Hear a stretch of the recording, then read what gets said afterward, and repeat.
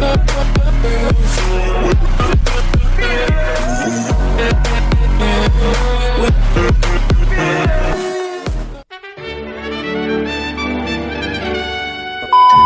few moments later. Nah, seperti itu Marco, pokoknya seriusan Marco ini uh, char UR yang wajib buat F2P ya. Kalau di server W kita serius PT-nya masih jauh, ini juga sebenarnya masih jauh teman-teman karena kita bisa gacha pakai gem itu cuma dua kali. Dua kali multi itu 6000 gem sedangkan kita cuma ada 5000 gem. Jadi cuma dua kali multi, semoga ini kita wangi ya tanpa harus PT. Ya kalau PT nggak lagi sih katanya kita langsung aja gas summon 10 kali bam aduh amsyong teman-teman dapat 100 gem sih oke okay. Sekali lagi ya ini satu kali sisanya boom besok ya teman-teman ternyata kita cuma dapat oke okay lah segitu doang nih dapatnya karena kita nggak dapat Marco, jadi kita gacha di sini aja teman-teman, gacha barbar ya. Wey, dapat relic dong. Mantep banget sate. Satu kali kita spam aja nih. Duh, gila, dapat krokodil. Kita mau nyelesain event assemble aja deh kalau gitu. Yes, dapat kusan. Meskipun di sini nggak build-build juga sih. Buildnya lebih ke Yongko ya. Kita spam aja nih. Wow, Vista. Dapat krokus kek.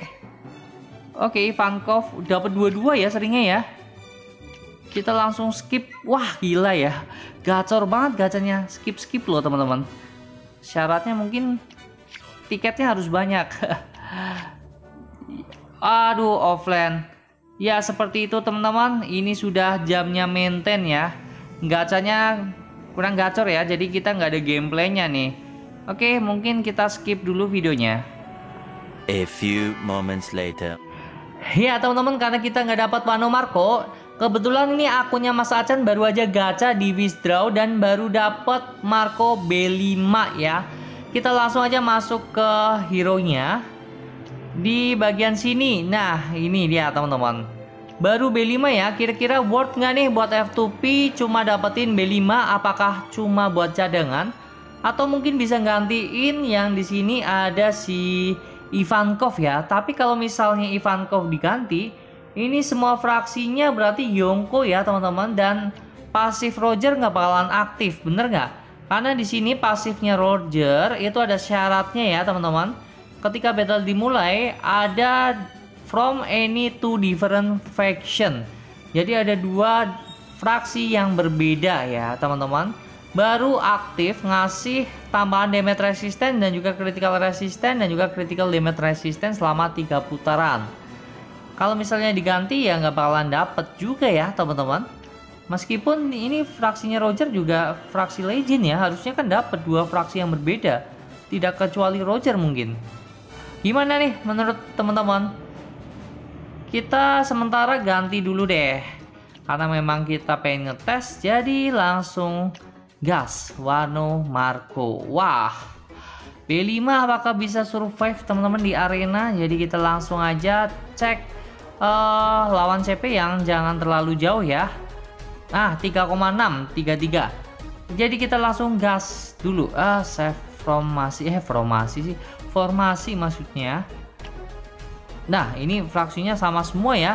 Jadi kalau legend ini dia bisa masuk ke mana pun ya bener ya.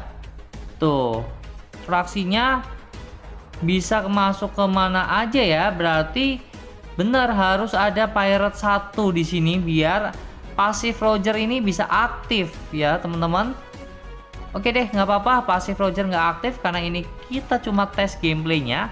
Apakah dia bakalan bisa mengalahkan? Wow, ada Sanji dan juga ada Wano Marco juga teman-teman yang penting kita pengen lihat dia survive nggak karena can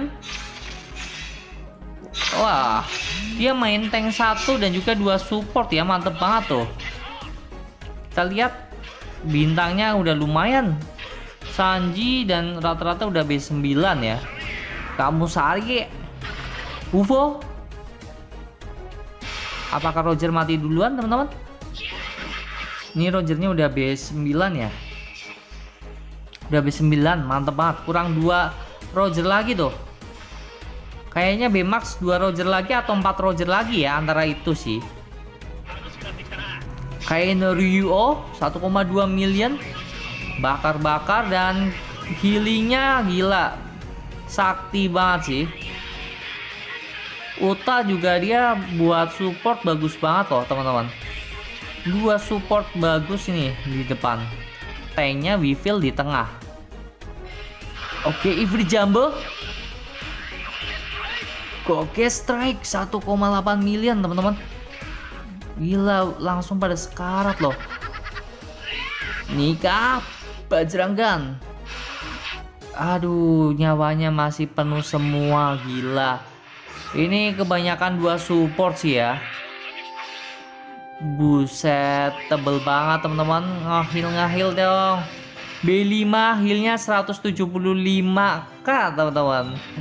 Gimana nih? Ya jelas sih ya, sementara pakai Ivankov biar pasif Roger juga aktif sih. Kayak gini sia-sia juga ya Rogernya. Soalnya masih B9. Oke, yang penting kita udah lihat ya untuk Wano Marco. Barangkali ada yang baru main, pengen lihat gameplay dari Wano Marco ya seperti itu teman-teman. Untuk B5 memang di arena jelas ya. Wano Marco ini masih bisa survive. Tuh, lihat. Bisa survive, yang lainnya mati duluan teman-teman. Padahal udah B11. B11 nggak yang lainnya? Oh enggak, B9 ya. B9 semua ternyata. Yang B11 atau B Max ini si Zoro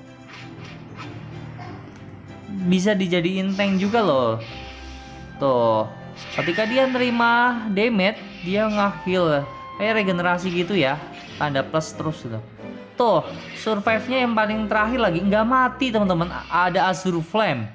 Gila darahnya separuh lagi. Nggak mati-mati Marco. Ya tapi dibakar mati juga. Oh gila. Akhirnya mati juga.